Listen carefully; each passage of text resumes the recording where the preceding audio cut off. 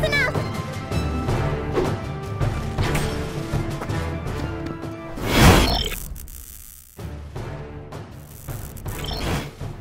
Hi, this is Luke from MGN, and today we're going to look at the second class overview for the classes that are available in Dark Deity. Part 2, we're going to cover Ranger. Okay, so, classes in Dark Deity are split up into six different trees, with Ranger, Warrior, Cleric, and Mage available during the first mission, and then Rogue and Adept coming shortly thereafter. Like I said, today we're going to go through a pretty comprehensive guide on everything to do with the Ranger class and their promotions what you can expect from using Ranger characters, where you can take them, stats and skills, all the information you need to plan a Ranger character accordingly. Naturally, if you want to avoid spoiling the class unlocks or the characters that are available later in the game, you should probably turn back now because there's going to be spoilers. Uh, there's going to be lots of them from here on out. Rangers don't really fit the typical archetype of tactical RPGs and having them exclusively use bows regardless of their class progression. Dark Deity more leans into the character being an actual ranger, rather than just an archer. This means that the class can be played quite varied. You can take range early and finish on melee, or vice versa, or stick with a particular range all the way through.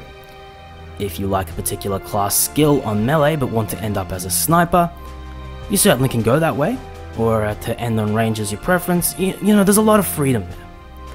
We're going to start with the stats and abilities of the base class in Ranger itself, then the stats and abilities of each of the promotional options at level 10, and then finally the stats and abilities of the final promotions at level 30. The base class, as I mentioned, it's called Ranger. The damage type for Ranger is Projectile, their armor type is Chain, they have quite a high movement range for a base class, it starts at 6, and their attack range is exclusively 2, meaning that if someone gets in front of you by one tile, you can't attack or return attack. The class skill for Ranger is grant an adjacent ally plus one move this turn. So you move next to an ally, you use your class skill, and then when it's that, when you select that unit, when you have them take their turn, they can move an extra tile. The promotions for uh, uh, for Ranger, sorry, when you reach level 10, begin with Archer damage type stays at projectile, but your armor type will change to leather. You'll keep 6 movement range. Your attack range will stay at exclusively 2, and you'll gain 2 class skills. The first of which is that your critical chance is increased by 7.5% per adjacent ally, um, and because the archer can attack at 2 range, it's really easy to position yourself to get this bonus.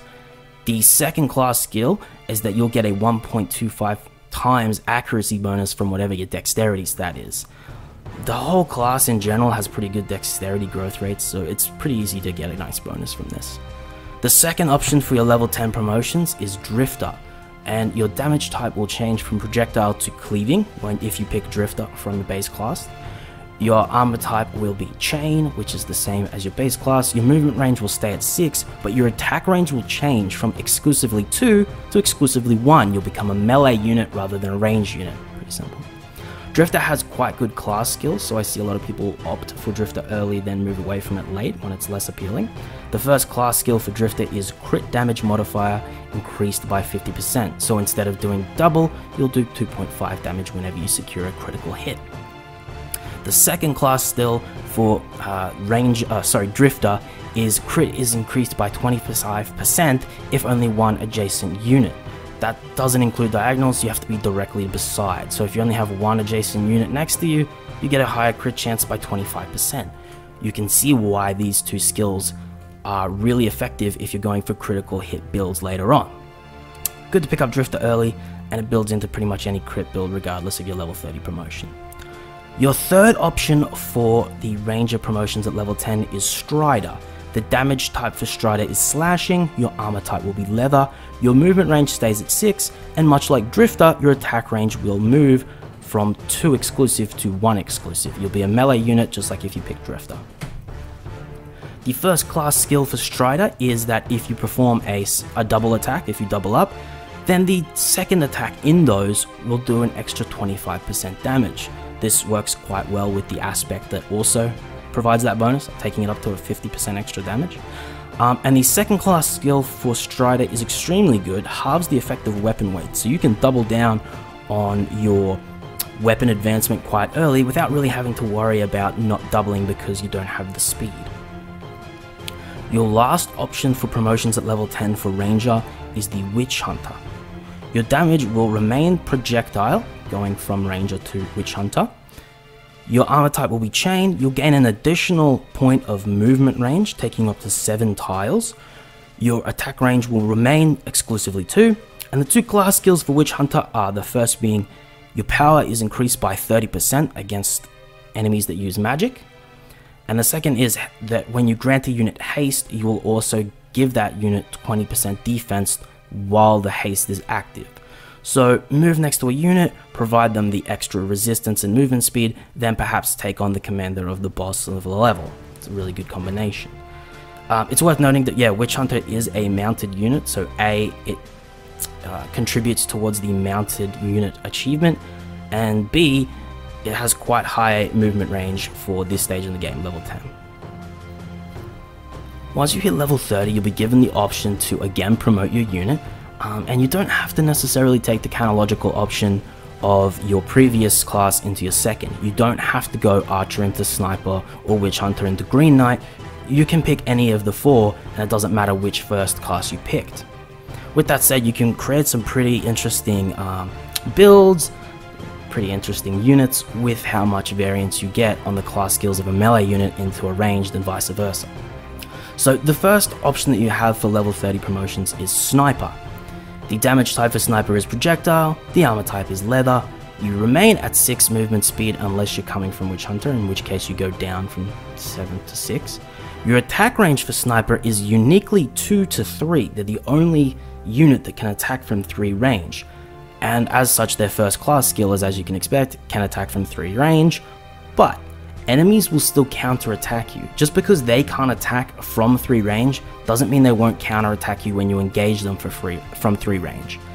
It takes this class skill from being probably one of the best, if not the best, into just being alright.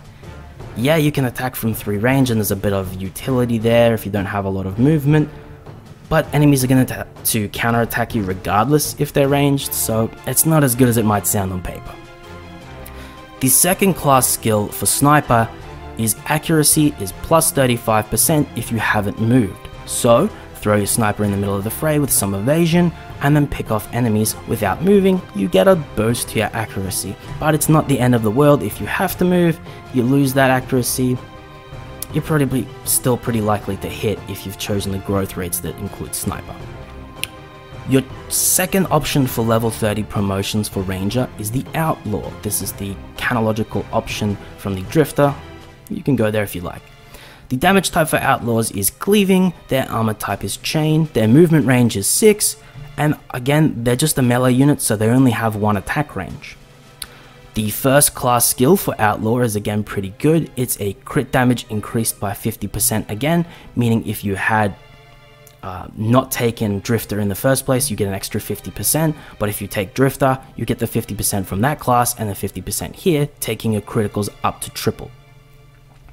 The second class skill for Outlaw is that you will ignore 50% of the enemy's defense stat if you only have one adjacent unit. Again, doesn't include diagonals, they need to be beside you, and that's pretty good, 50% of their defense stat is just gone. Your third option for Ranger level 30 promotions is the Blade Dancer.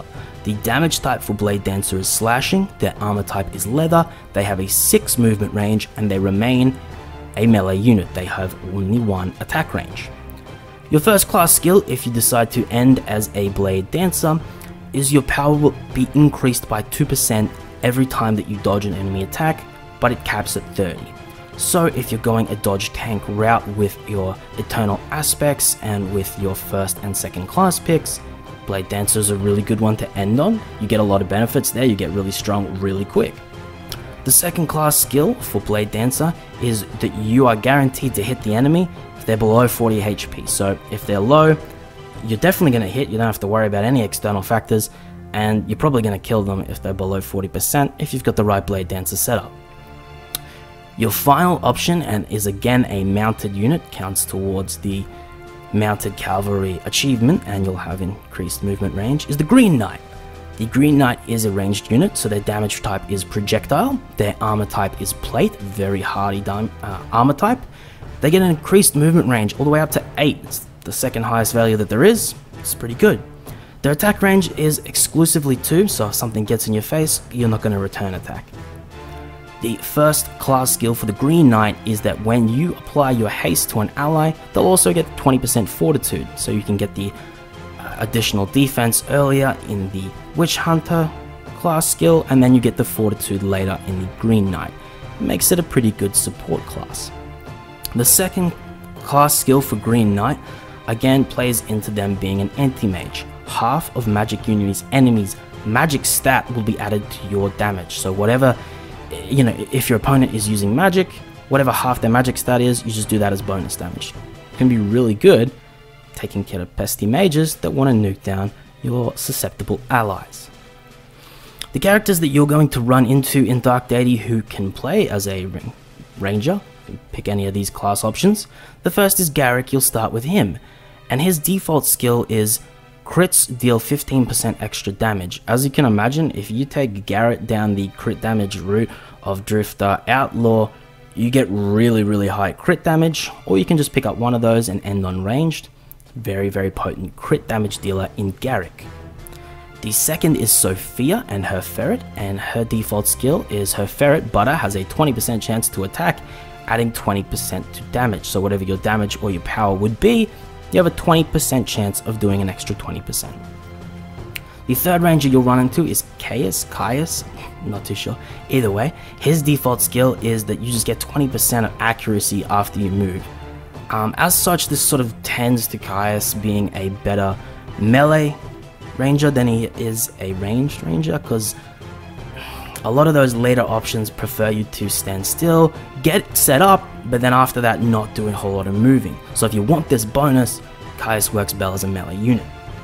Next is Maeve, and her default skill is defeating an enemy gives you plus 30 dodge for one turn. That isn't one attack, you don't get an additional 30% dodge on the next enemy to attack you. It's the entire turn. It's just about as good as it sounds, if you get an enemy defeated quickly in your turn with Maeve, make her a priority when it comes to maybe someone else whittling down an enemy and her finishing it, then she becomes a very effective dodge tank.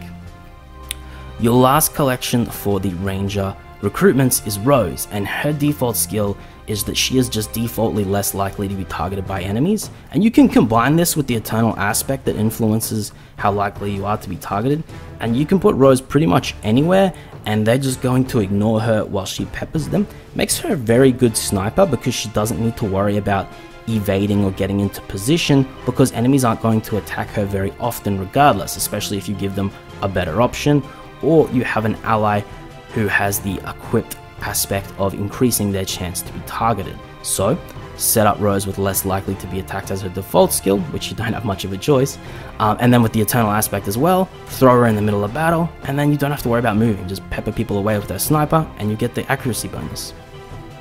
So that's going to wrap things up for our overview. It's a quick overview of the Ranger class in Dark Deity.